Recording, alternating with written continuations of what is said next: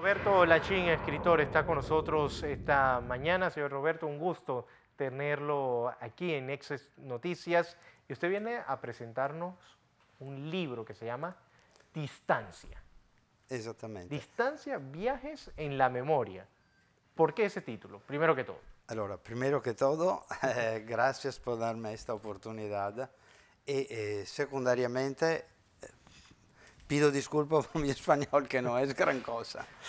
Eh, distancias, porque el libro está estructurado en cuatro partes, así que más eh, cercano y más lejos.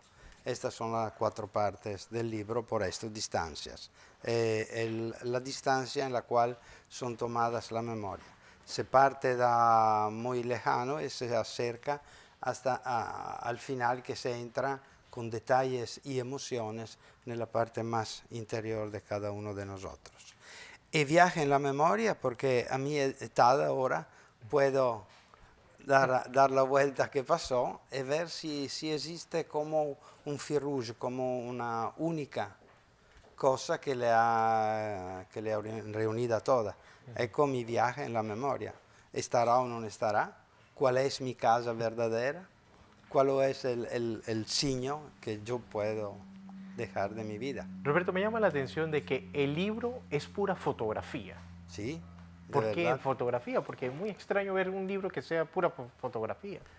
Porque la fotografía è, è un, come puedo decir, es una imagen, una imagen de, de, de, de quel que nosotros somos.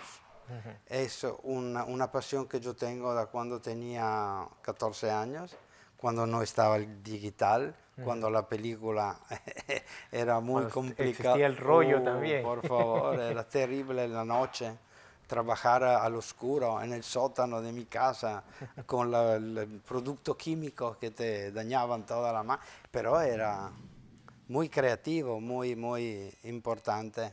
Vamos la entrevista con Roberto Lachín, escritor, y él nos hablaba sobre su experiencia luego de la explosión de un transformador cerca aquí a la Vía España que afectó el fluido eléctrico en varios sectores aquí.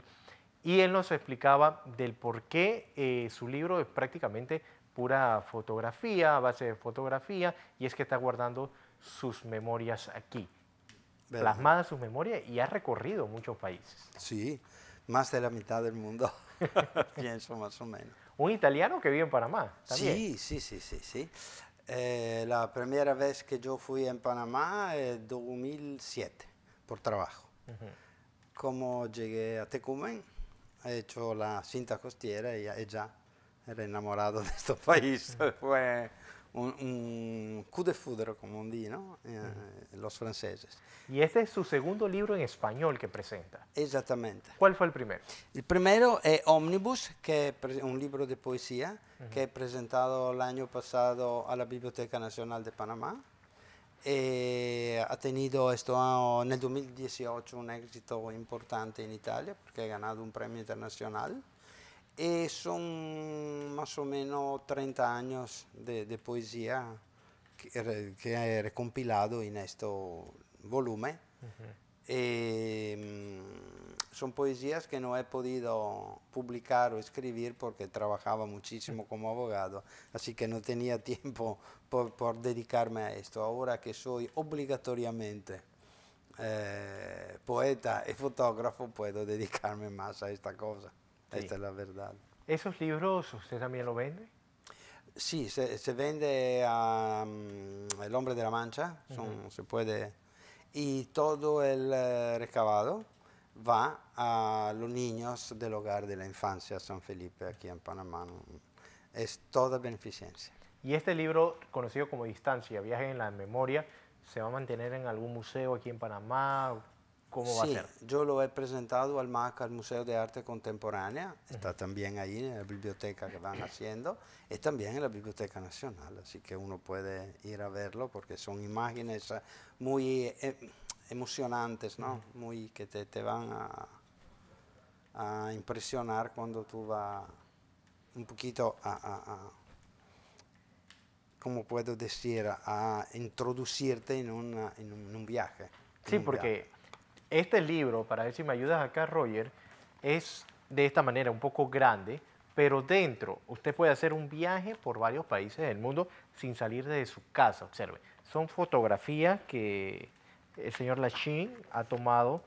Por ejemplo, aquí estamos viendo Las Vegas en esta área, Estados Unidos. También ha recorrido varios lugares de Panamá. Observen, ahí estamos viendo esas fotografías que él decía que también utilizó mucho las cámaras antiguas, un poco difícil, nos decía, cuando se nos fue la luz, que hubo esa explosión allá afuera, donde usted decía que se manchaba hasta los dedos, todo, que trabajaba en el sótano de su casa. Todo eso desde Italia. Sí, Exactamente, Ha recorrido muchos, muchos países. ¿Cuál le ha llamado la atención?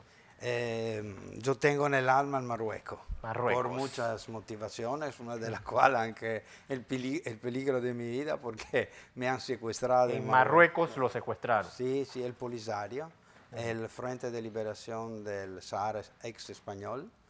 Eh, fue una experiencia que empezó trágicamente y terminó espléndidamente con un partido de fútbol con los uh, del Frente y por la crónica ganamos 8, 8 a 5 y puse 4 goles.